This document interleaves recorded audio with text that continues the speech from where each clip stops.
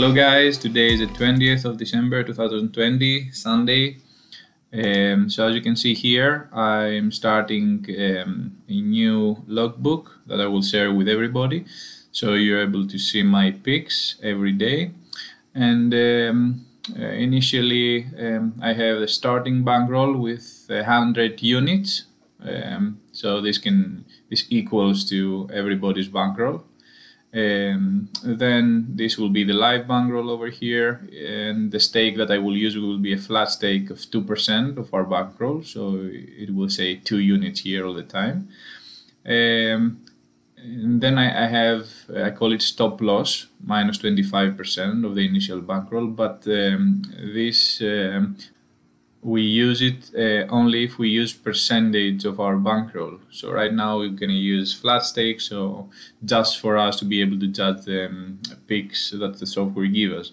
Um, I followed the software um, for a month and uh, it was positive. The numbers uh, were verified according to the back testing. Um, so uh, I feel confident confident to share the picks over here. Uh, everybody can follow. Don't um, stake too much money. Uh, just follow it for one or two months.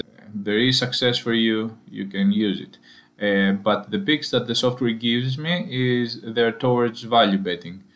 Uh, so that means if you follow each pick, in the long run, uh, you will have profit. We have right now 25 active predictions over here. So those are the predictions from the Eerste Divisie Dutch League Excelsior against Cambuur. Um, and the software gives us pick the away team to win. So that means that we bet on Cambuur to win um, and we bet two uh, units.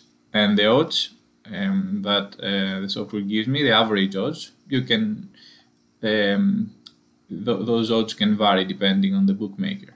So for now, for me, uh, when I do the pick, it's 1.51. So if um, at the end of the day, um, I, will have all the picks here, and at the end of the day, I will uh, update the status if it's win or not. So if it's win, you see that right now the live bankroll is 110 units. Um, so the total uh, return of investment is 1.02 if we have a loss over here you see that this updates all the time. Um, and here it counts the hit rate. So we have two bets one win one loss 23 active up to now because we had two that we we gave the result. Uh, here it counts the yield. So the yield is um, how much money we staked and uh, what the profit we have. So this is the yield. Minus 1.96 means that um, we are minus 1.96% um, less. Uh, so the average odds are here, 1.51, 173, but the average odds are for all those that we have used over here. And um, then uh, here uh, it will be profit. Here will be the value that we have uh, the days that we're um, we're playing. Um, and then here will be football basketball or hockey. Those are the leagues um, the sports that I'm gonna give predictions for. Uh, here um, it doesn't matter uh, those will change in the future. But for now I try with Bet365 but yeah anyway um, here we have the picks, so um, home picks, uh, draws, and away picks. And here will be the uh, percentages of success for those picks as well. So we would be able to judge the software and the picks uh, uh, that it gives us um, in the long run.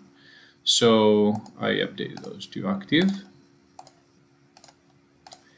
and what I have done up to now and everybody can see it um, in the comment area um, you will be able to to find a link that will take you to this Google Sheet that it's updated automatically according to my Excel file. And um, you can see here exactly what I talked to you. So 100 um, units starting bankroll. And then here will be all the picks so you, every day you can come here um, see the match, see what pick the software gives us. Uh, here is the probability of this pick according to my AI software. Um, and here are the average matches. So um, this team has played 16 matches and this team has played 16 or this team has played 15 and this team has played um, 17 matches. So here are the average matches. So if average matches are over 5, let's say over 10 in reality, we can trust um, the software more. So if um, it's like 6 or 5 because this is NCAA, I keep following it because um, I still have success in NCAA. So it's not that uh, trustworthy, but um, I think we, I, I put it in my logbook here. So let's see how it goes. If we see that um, NCAA picks are not, uh, they don't have so big hit rate, uh, then we can uh, delete and don't pick uh, from this league anymore. Uh, but this is a way. We pick leagues, we pick the teams, and we judge according to uh, this list here if we have success or not. If we have success, we follow those. If we don't have success, we don't follow those leagues. This is how we do it. So good luck everybody. Uh, every day I will update this in the morning uh, and then I will update this with results at the end of the day or at the start of next day. Um, in that way I, I won't uh, have to do a video every day with my picks and the results. Uh, you will be able to follow it, um, all my picks if you want. Um, those are not guaranteed predictions, I'm telling you again. Those are, those are toward value betting. So in the long run, if you play those, we will have profit. So good luck everybody.